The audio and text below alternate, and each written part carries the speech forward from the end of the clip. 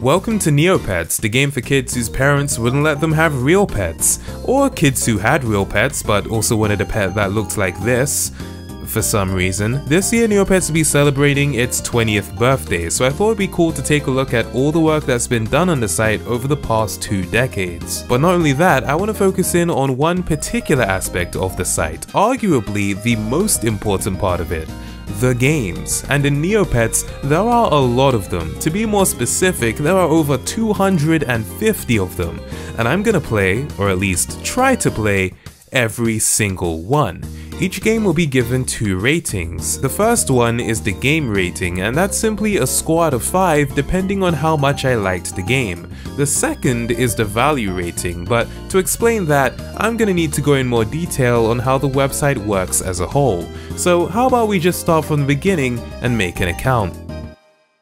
Ooh, sign up today and receive 2,500 free Neo points? Don't mind if I do. Now the first step is to create a username. I don't know why I bothered trying out Tamago2474 knowing that it would already be taken by me. So next I tried Egg2474, which, to my surprise, was taken too. Who is doing this? So my natural next step was to go for the French spelling of egg, pronounced ouf, and luckily this was available. Next I had to answer perhaps the most introspective question a website has ever asked me. Who are you? Neopets, I ask myself that very same thing every night. Here's a quick tip. If you have to scroll up to find your year of birth in this game, there's a slight chance you are too old to be playing this game. Then came the most important step, creating a Neopet. First I had to choose a species. The Kacheek seemed nice, but maybe a bit overly friendly if you ask me. They will avoid violence whenever possible. I'm trying to be the very best like no one ever was, so that's not gonna fly. The Usul, classy as it looked, was just too high maintenance for my liking. I mean, it's got makeup, a fur scarf, hair ties. It's even got a freaking tree house. What, it can't just live in a cage? Like a regular pet? I get the feeling that this is the type of Neopet to be in your ear talking about, yeah, but what have you done for me lately? And frankly, I don't need that kind of sass in my series. No, the Neopet I decided to go with was the Nimmo. Nimmos are very spiritual beings. They value peace and friendship above all else. If you're looking for a loyal, intelligent friend, then a Nimmo is the Neopet for you. Yo, that sounds right up my alley. Plus, it's got these long legs, so if it ever needs to drop kick somebody in the battle dome, it'll do just that.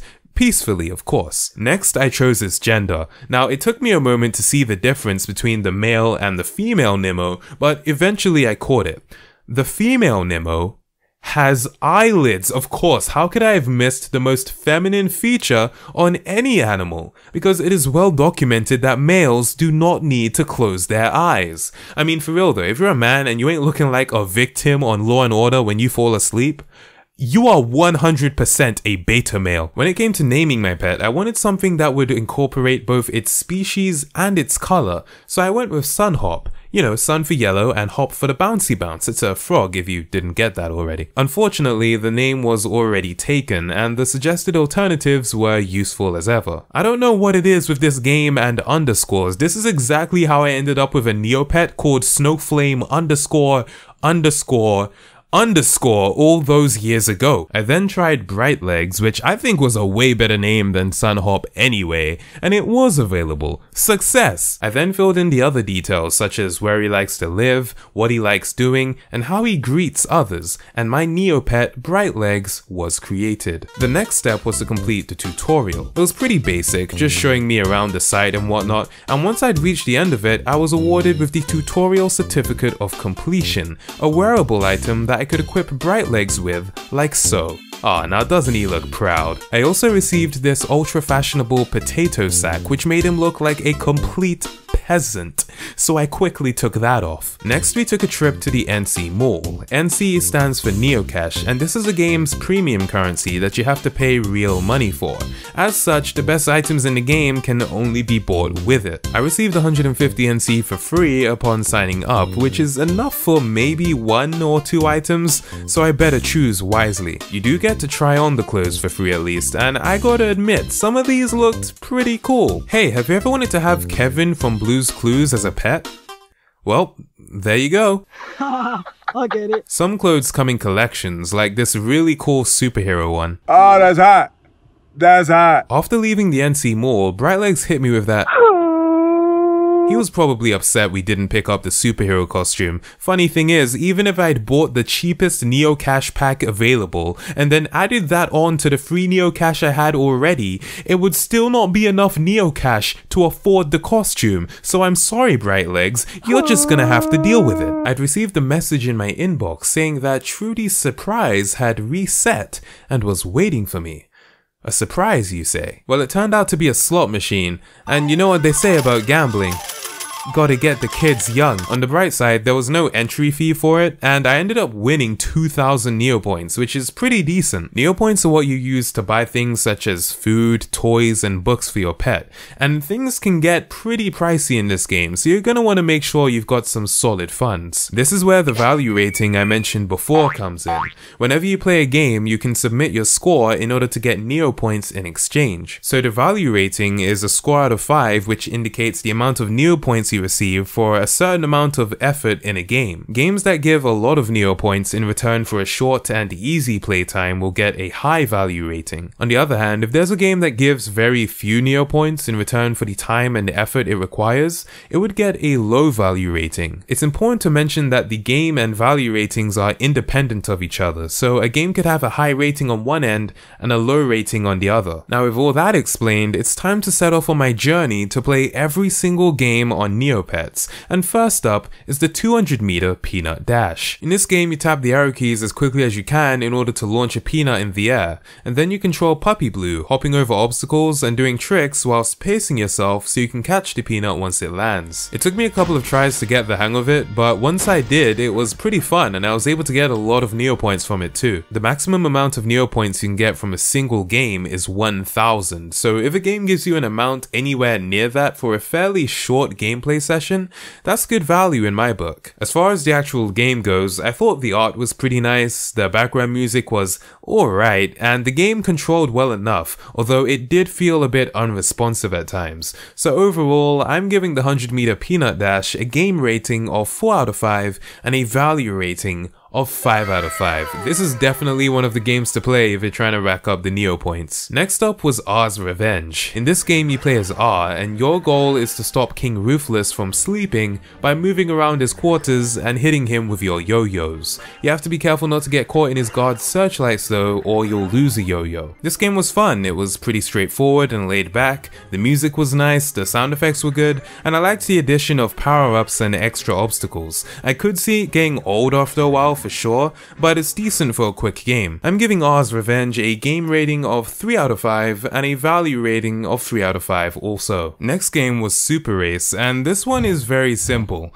All you need to do is win a series of space races by pressing the go button. Now you're probably thinking, that sounds way too easy, and you'd be right, because I lied twice. This game is not called Super Race, it is in fact called Advert Attack, and the catch is that whilst you're playing the game, the publishers of the game, Virtupet Studios, want to increasingly monetize it by placing invasive adverts all over the place that hinder your gameplay experience. And as the game progresses, the publisher makes the ads more and more invasive, resulting in the base game becoming harder and less enjoyable to play overall, which is to the clear dismay of the people who appear to actually be making the game and for obvious reasons would want it to be good. I really gotta commend this game for being such an on-the-nose commentary on the state of gaming, and one that is still relevant today. This has gotta be one of the most self-aware things on this entire website. I mean, you go on Neopets and you're bombarded with ads everywhere. Ads on the side, ads up top, ads that run before you can play a game. Some games are ads. Neopets is the reason why the term immersive advertising exists exists, with additions to the game that have since been removed, such as the McDonald's shop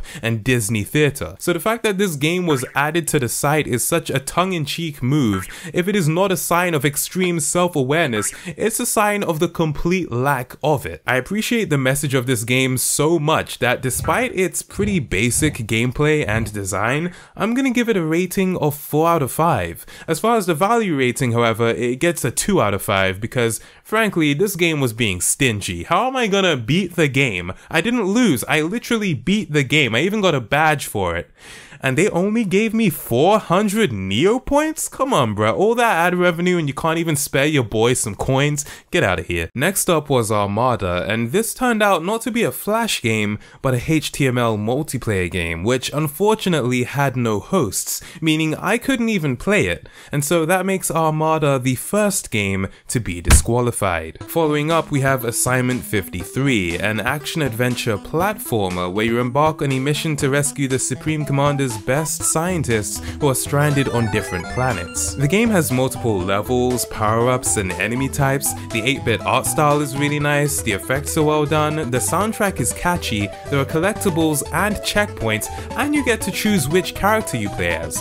I mean, they're pretty much identical, but you get the choice. This is without a doubt one of the higher quality games on the site. I'm giving Assignment 53 a game rating of 5 out of 5 and a value rating of 3 out of 5. I honestly didn't expect to find a game this good as soon as I did. This is gonna be a tough act to follow. Next up was Attack of the Slorgs. Now I would tell you what this game is about, but I have no idea. This game required an ancient relic be installed on my computer in order to play it. Shockwave Player.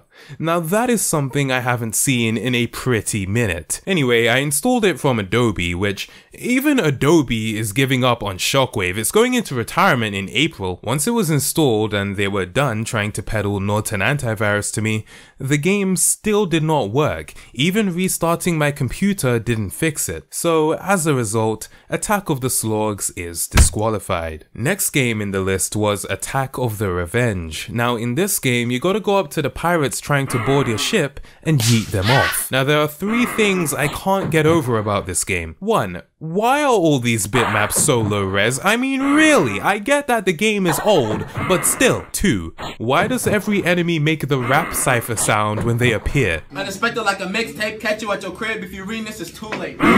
Three, this game has a crazy difficulty spike. The first two levels are a piece of cake, and then the third level is freaking insane. Bad enough you have to deal with these guys up front, but then you got this dude lighting your cannons on fire too, so you gotta make sure to either keep them loaded or to put the fire out with water. Through sheer willpower and determination, I was able to make it to level 6, and what did my efforts get me?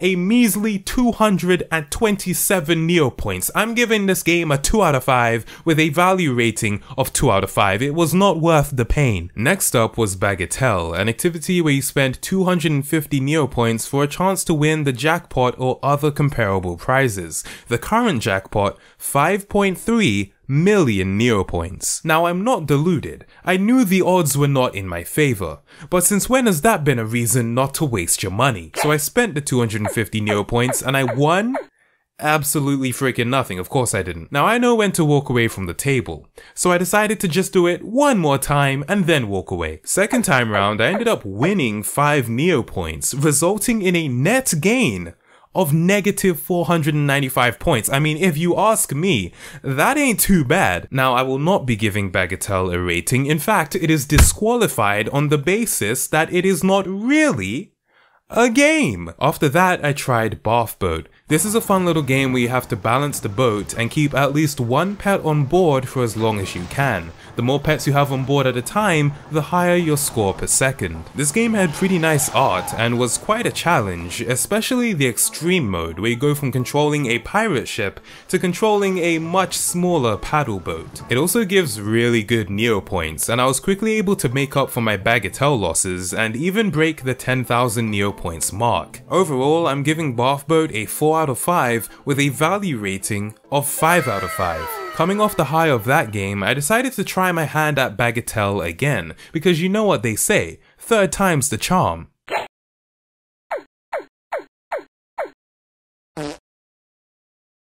Stupid. Next up was Battledome, but this doesn't really count since it's not a regular Flash game and it's actually integrated into the website as a whole, so it won't be getting a rating, but I will be checking it out in a future episode. Then we have Beach Volleyball. This is a game very much in the vein of other Flash games like one-on-one -on -one soccer, except it's less fun. The game's alright and it has a few cool power-ups, but it's not all that interesting playing against the AI opponent. I will say this is the first game so far to offer local multiplayer, which is nice, but I'm pretty sure if I invited a friend over to play a Neopets mini game with me, I'd never hear from that friend again. So I'm giving beach volleyball both a game and value rating of 2 out of 5. After that was Berry Bash, a game where you take people's orders, give them their berries, and clean up after them. Every customer has a happiness meter, which slowly decreases depending on how long you take to serve them. The game was decent to play and had nice art, but it really wasn't much of a challenge. The only thing that would happen as the game progressed was that more berries would become available,